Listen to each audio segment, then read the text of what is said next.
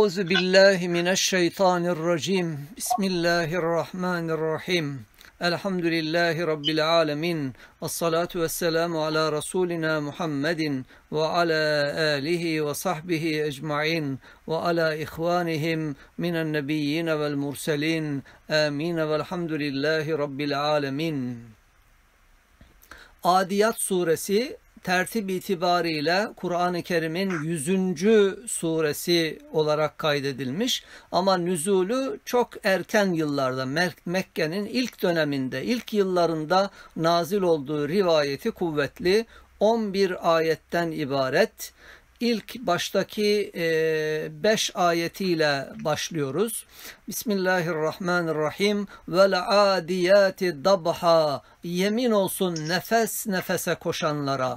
Fel muriyati kadha. Sonra çakarak kıvılcım saçanlara.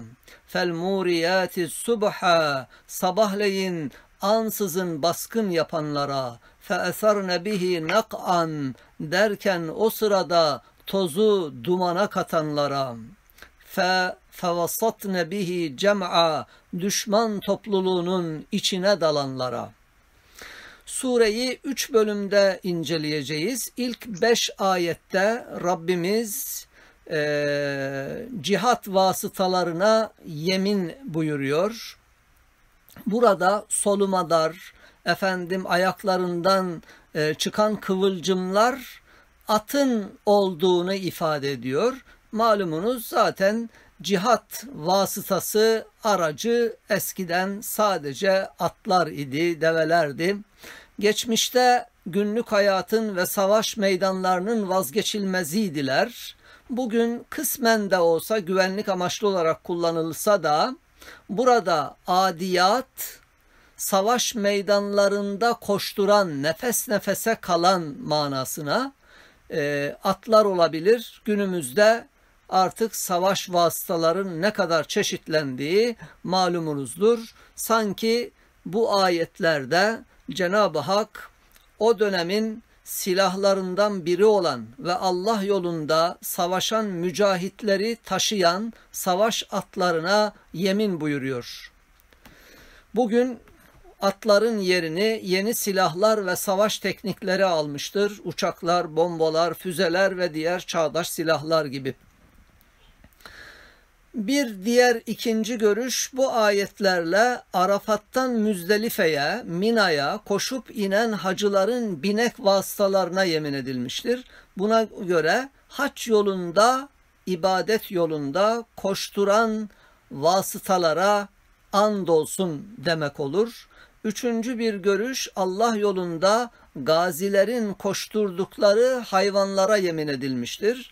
Ayetlerin henüz savaşın, cihadın farz kılınmadığı Mekke'de indiği düşünülürse, Yüce Rabbimiz ileride kendi yolunda at koşturacak mücahitlerin olacağını önceden haber vermiş ve onların önemine dikkat çekmiştir.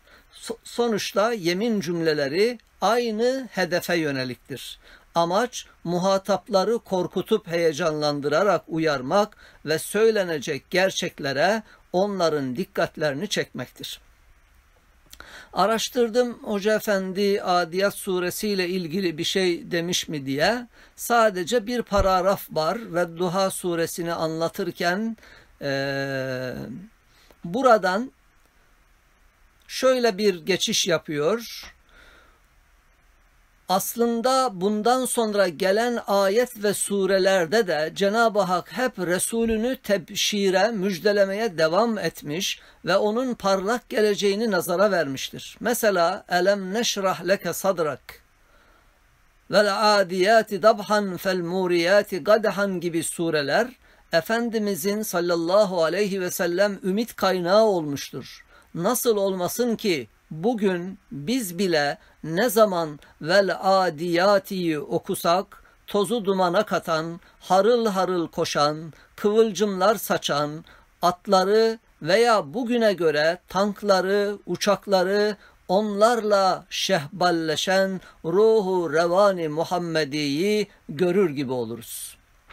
Ki bu vesileyle İslam e, idarecileri at beslemeye önem vermişler. Mesela Hazreti Ömer devrinde e, beslenen atların sayısı 40 bini bulmuş. Sonra Osmanlı döneminde 100 binleri aşmış ve e, cihadın önemli bir vasıtası ki her zaman süvariler yayalardan daha fazla değer görmüşlerdir. İkrime bu ayetlerde hiç mecaz düşünmesine hacet kalmaksızın hepsine şamil olduğunu ifade ediyor. Yani o zaman Müslümanların henüz ne at ve ne de silahının olmadığı bir dönemde bu ayetler geleceğe ait demek olacağından bu mana ve şumul daha açıktır. Bu şekilde burada sonradan peyderpey ortaya çıkacak böyle ateşler saçan silahlarla geleceğin harp güçlerine de işaret edilmiş olmakla beraber bu sadece atlara değil harıl harıl süratle hücum eden motorlu akın vasıtalarının da hepsini içine almış olur diyor. Zaten bir ayeti celilede Rabbimiz şöyle buyuruyor. ve a'iddu lehum mastata'tum min kuvvetin ve min ribatil khayli turhibun bihi aduvallahi ve aduvakum. Enfal suresi 60. ayette Rabbimiz bizlere hazırlıklı olmamızı, Allah'ın düşmanlarına ve sizin düşmanlarınıza karşı ha, önceden hazırlıklı olmamızı e, emir buyuruyor. Düşmanlarınızın içine korku salın ve onları caydırmak için her türlü tedbirinizi almanızı burada atlar diyor. Artık bütün teknik silahlarla bunları kullanmak amacıyla değil ama düşmanı caydırmak amacıyla hazırlıklı olmamızı e, ayeti celile bizlere emir buyuruyor. Sonra cihatla alakalı Hoca Efendi'nin önemli bir iki tespitini okuduk zaten ilahi kelimetullah ve cihatta sadece bir iki başlık okuyayım. Cihat hayat kaynağıdır.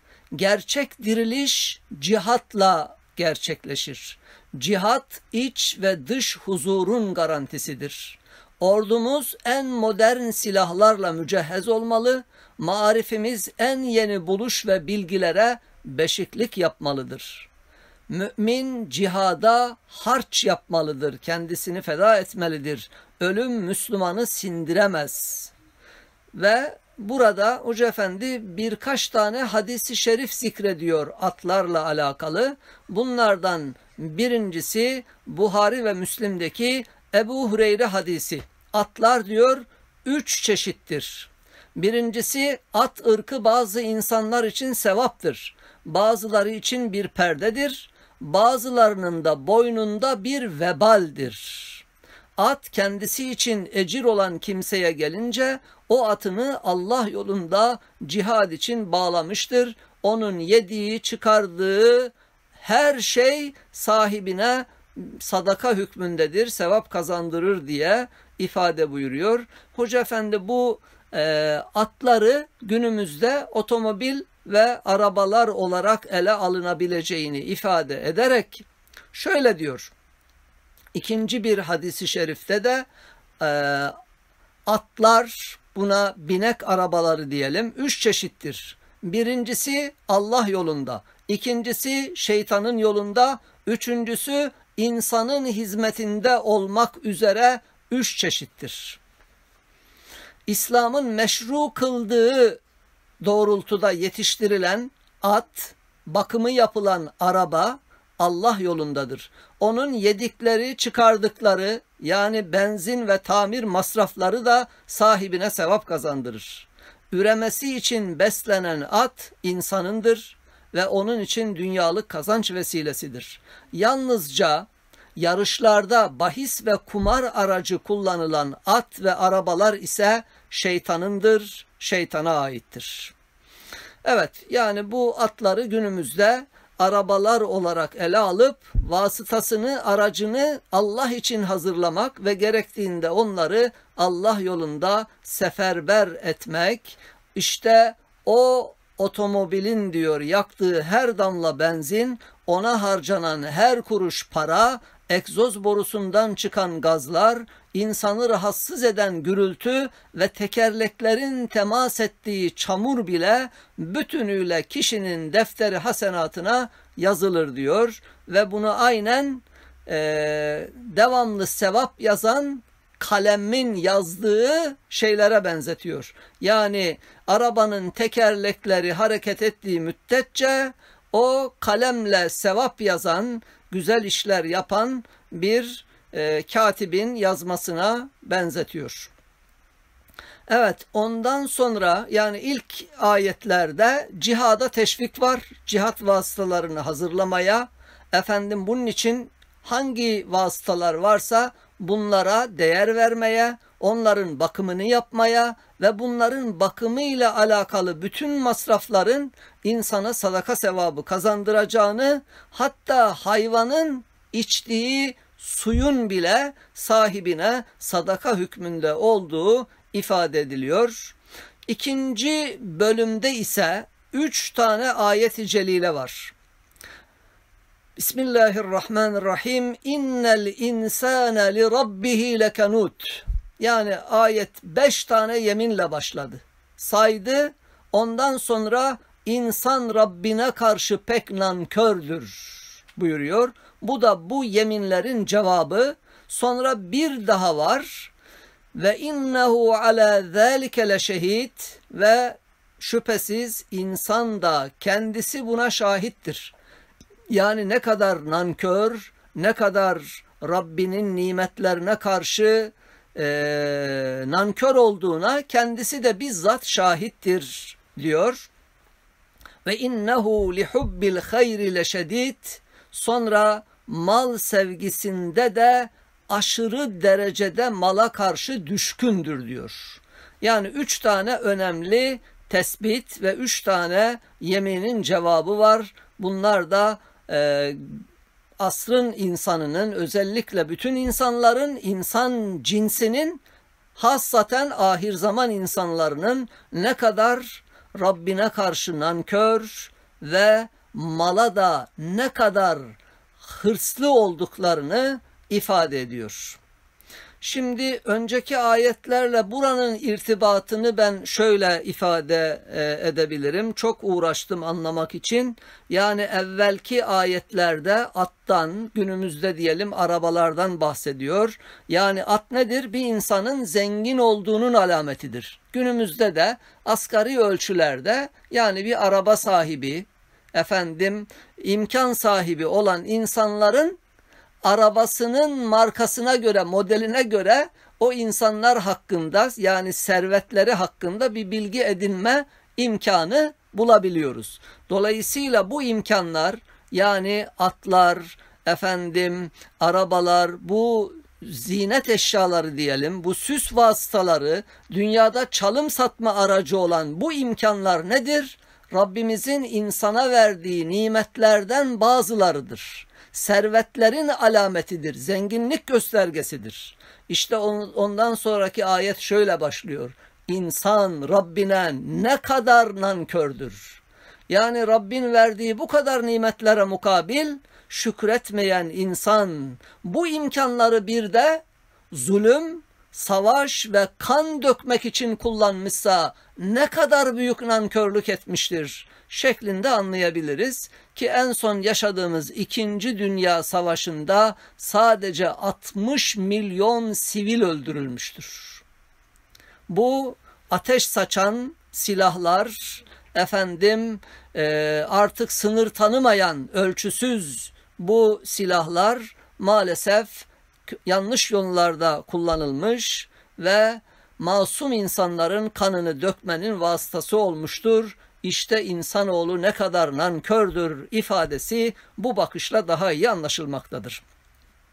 Diğer bir husus mal sevgisi. Burada hayır kelimesi bildiğimiz iyilik manasına değil. Bazen Kur'an-ı Kerim'de hayır, hayır yani iyilik manasına kullanılmakla beraber genellikle mal manasına kullanılmıştır.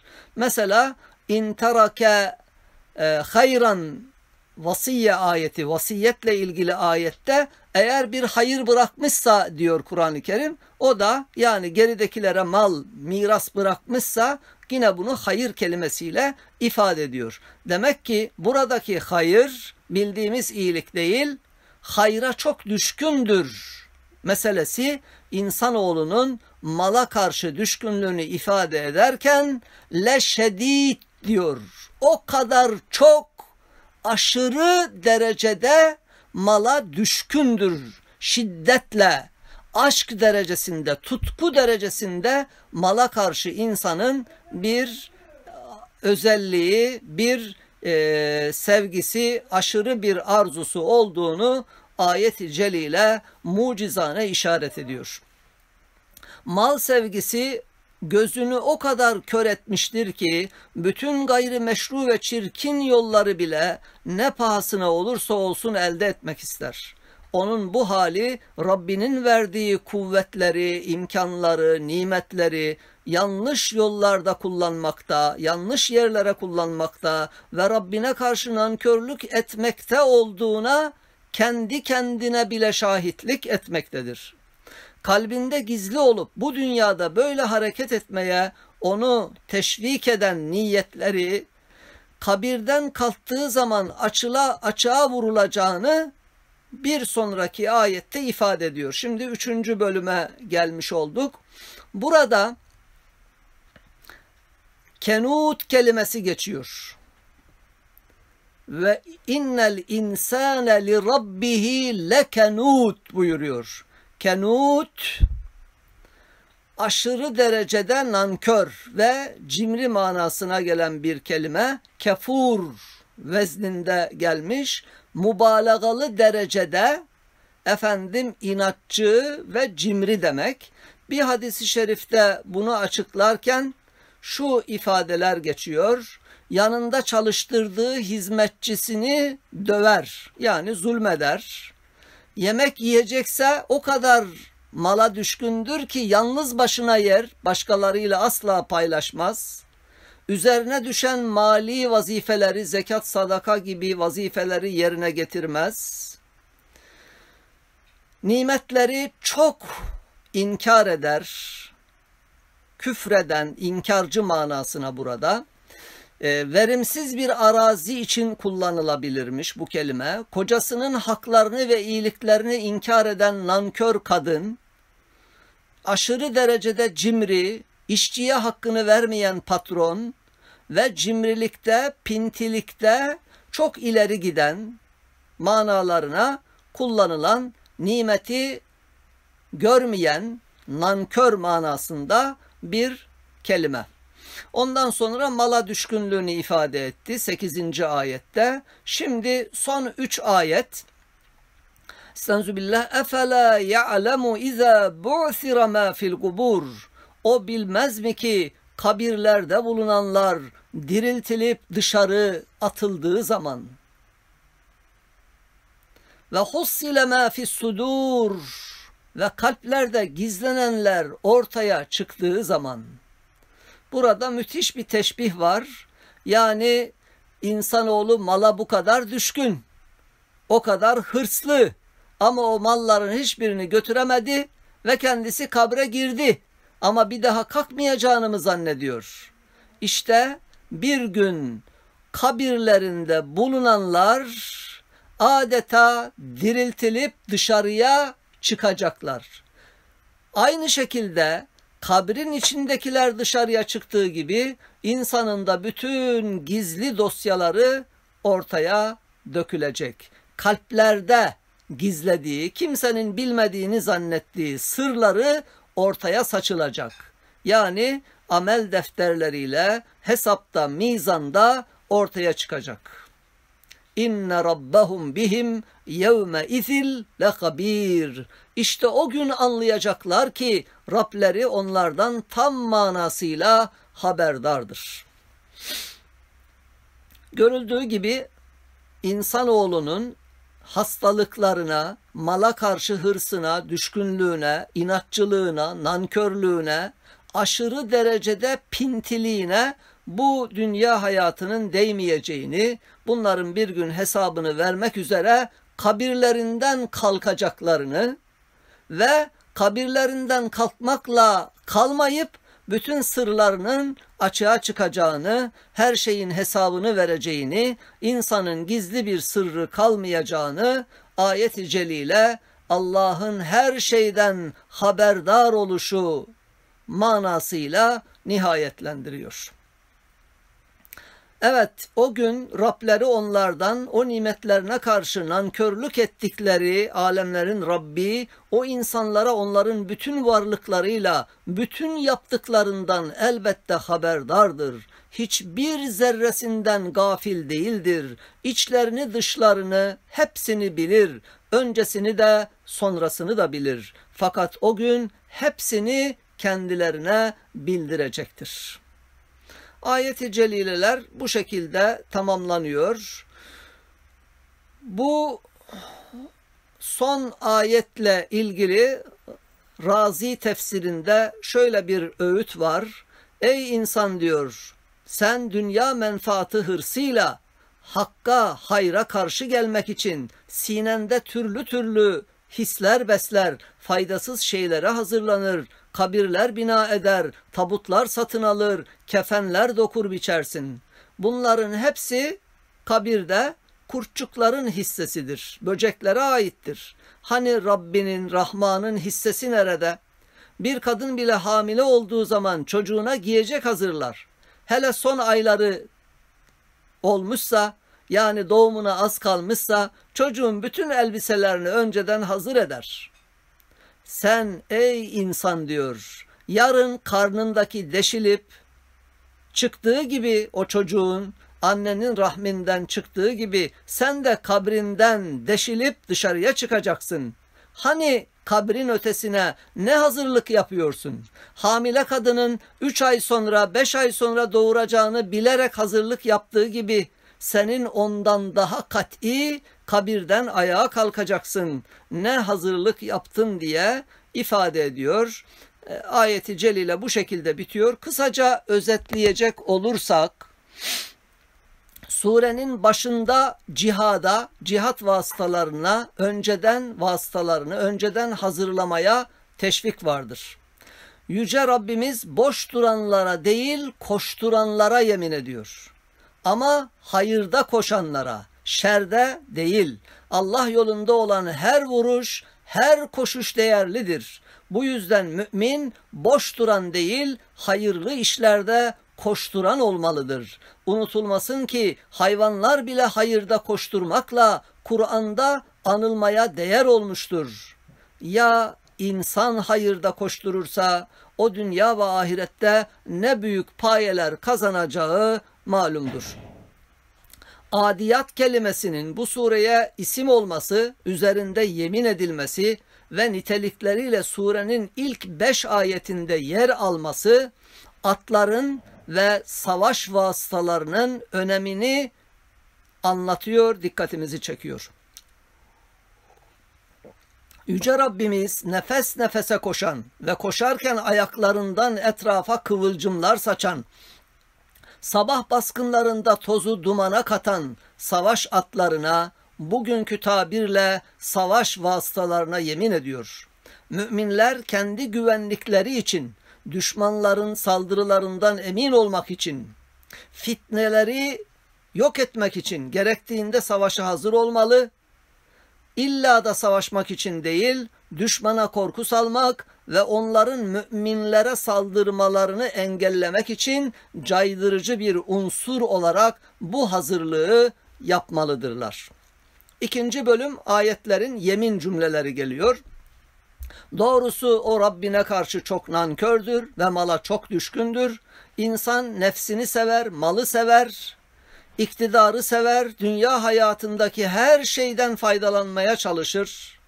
Ama bunları yaparken bu nimetleri veren Rabbine karşı çok nankördür, haristir, efendim maldan ve iktidardan dünya hayatındaki her şeyden faydalanmak için her türlü şeyi meşru görebilir.